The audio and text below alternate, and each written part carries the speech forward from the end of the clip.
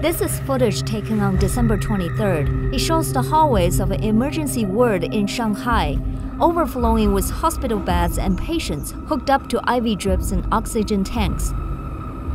China is battling a wave of COVID infections, but it has officially logged only a handful of coronavirus deaths after the government redefined the criteria by which COVID deaths are counted.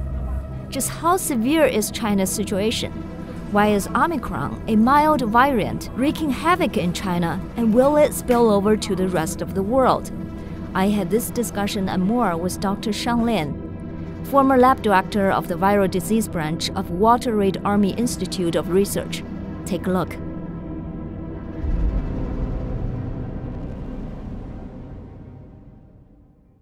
Thank you, Dr. Lin, for joining Zooming in today.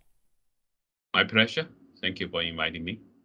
Okay, let's talk about the epidemic in China.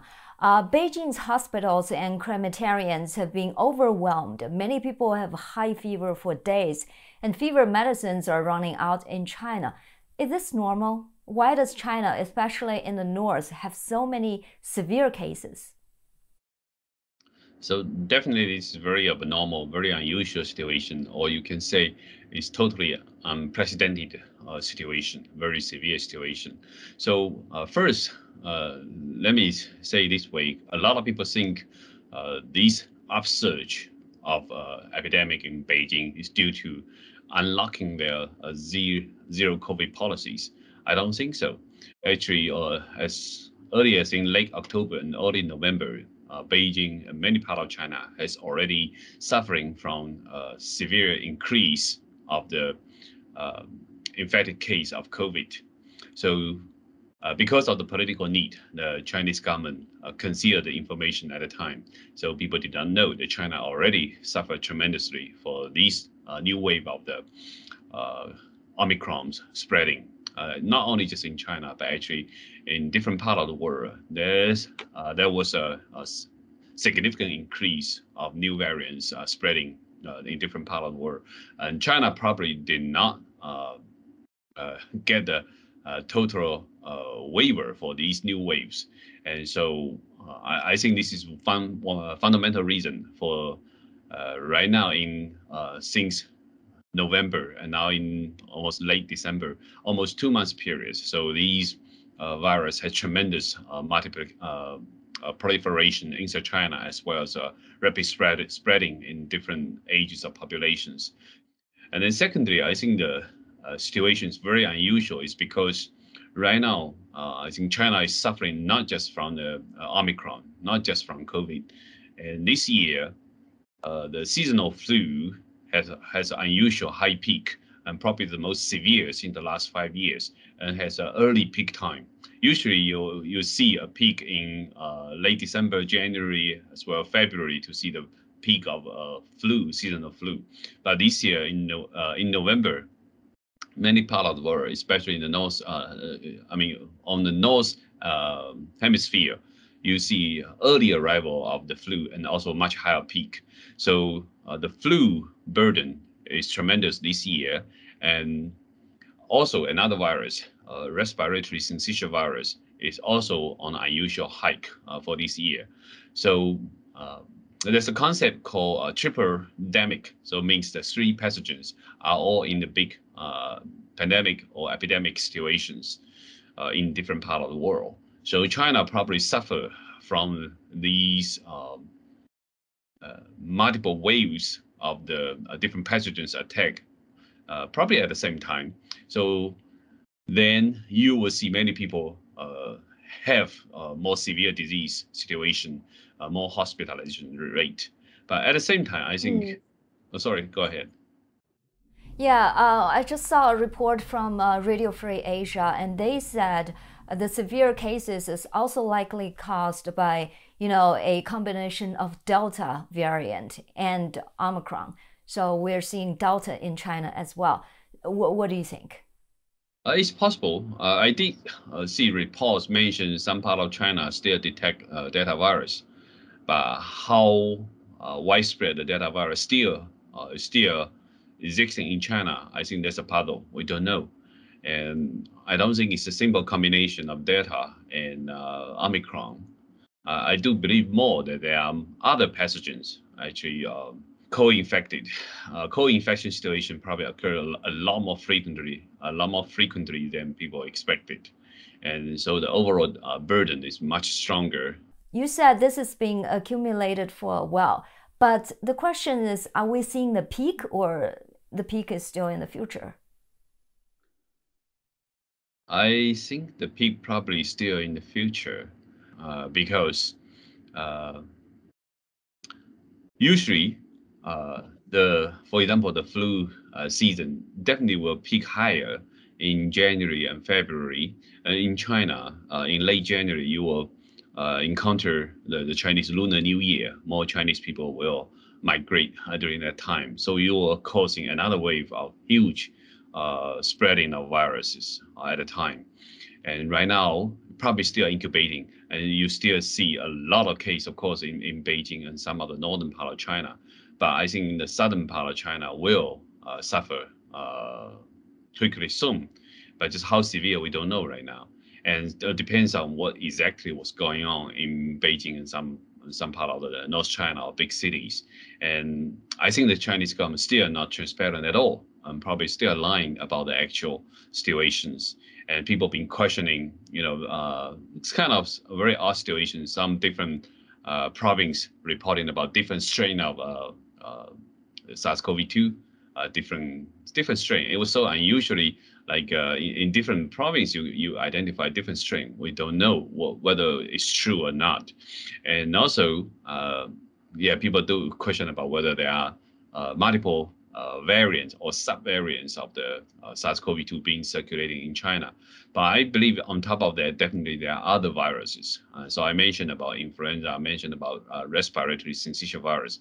But at the same time, this year, you know, um, human uh, metapneumovirus as well as adenovirus and other uh, respiratory pathogens is also in an upsurge. Even bacteria, even respiratory bacterial infection, for example, the group A uh, streptococcus um, also uh, is in the upsurge this year. So there could be uh, multiple pathogens circulating in the high peak this time. It's very uh, unusual situation and probably uh, have something to do with the the hard lockdown and zero COVID policy in the last three years in China. So from this perspective, we need to think differently regarding about the whole pathogen uh, I call it biosphere. You know, so you have so many different uh, virus, so many bacteria circulating in human world. It's like um, uh, in a big uh, layer of uh, a biosphere. So if you totally suppress the the SARS-CoV-2, uh, these kind of uh, pathogens, these viral pathogens, and then uh, later on it will bounce back, and then when other uh, also being suppressed, they will bounce back when you have an environment. So now they even also, uh, uh, even some of the Western scientists also being sus uh, suspecting that the upsurge of the flu and IS RSV, even in a, Western country, probably have something to do with the, uh, the different uh, containment policies or different vaccination policies in the Western society. And because of the uh, many kids didn't have the chance to have a, you know, exposure to regular season virus, regular uh, RSVs uh, due to different restriction, different lockdown levels in different countries.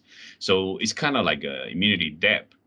So now uh, these kids become more uh, vulnerable to uh, the seasonal flu as well as RSV and probably to different variants of the uh, COVID as well. But I think mm. this is one of the reasons. But I think the fundamental reason right now in China, I believe, is multiple pathogens uh, co-circulating and all uh, rush to the high peak at the same time. So mm. Chinese society facing a huge challenge now. Right, immunity debt. Um, it seems like uh, the Chinese government opened up at the worst possible time, the peak season for flus. Uh, what do you think their strategy is? Is it I mean, finally catching up to the rest of the world to coexist with the virus, or they're planning on something else?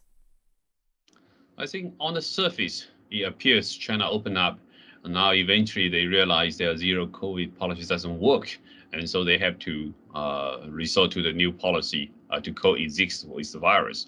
But I don't think that's their purpose, because if that's their purpose to coexist with the virus, they can do it much earlier, and they know uh, Omicrons uh, has much lower pathogenicities much earlier. Early this year, they know it. Chinese scientists know it, and so I don't think they have the purpose to coexist with the virus because in China, because of the tremendous uh, burden of nucleic acid tests every day in so many big cities, right? China has already used up many of the Medicare uh, savings, uh, uh, also as well for people retirement funds. All the money will actually being used for so-called zero COVID policy uh, control measures, right? So they use all the money, and then Chinese society has uh, become uh, very uh, uh, like Japanese society. Very a lot of the senior people, right? The the senior populations has grown tremendously, and the government knows it's a huge burden, and so many Chinese people also has all kinds of uh, uh, underlying uh, disease conditions.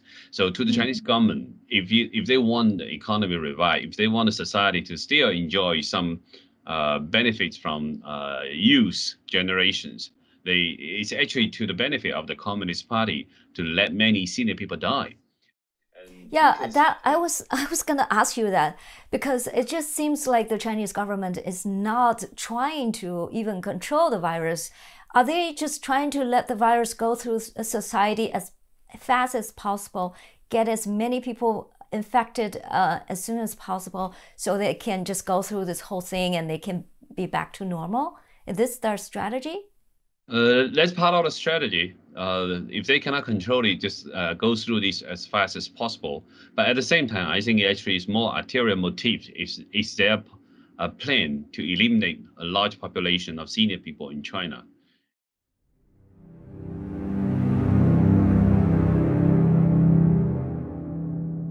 If you would like to watch the rest of it, please go to our website, zoomingin.tv, and become a member. $5 a month or $50 a year. Cancel anytime. You will have access to my extended interviews and full in depth reports. For those who are not quite ready to become a member yet, you are welcome to visit our website as well. We have all the shows you can watch on YouTube plus transcripts on our website. YouTube only allows for a short description, but on our website, we post full transcripts. You can simply donate to us on that website as well. Have a great day, and I'll see you very soon.